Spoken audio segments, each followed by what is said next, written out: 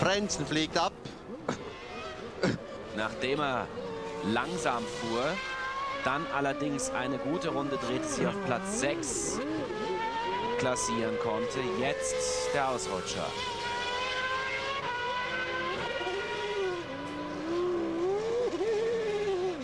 Und gerade geschafft, zurückzukommen. Fast ist er hängen geblieben. Hier nochmal. Ist da was? Das sah aber sehr seltsam aus, Das sah oder? seltsam aus, außer dass er einfach die Räder hat zu stark durchdrehen lassen an dieser Stelle. Aber ein bisschen überraschend passiert, ja. Also als wenn er da abgebogen wäre. ja ich denke,